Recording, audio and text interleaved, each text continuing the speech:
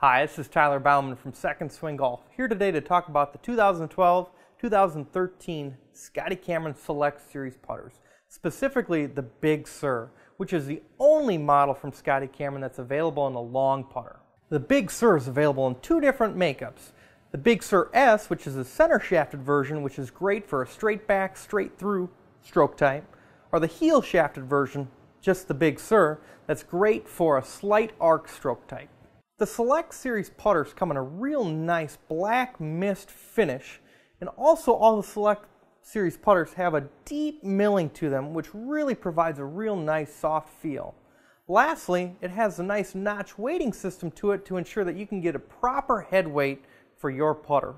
Be sure to stop into Second Swing Golf or schedule your fitting online today to make sure that you find the right Cameron putter for you.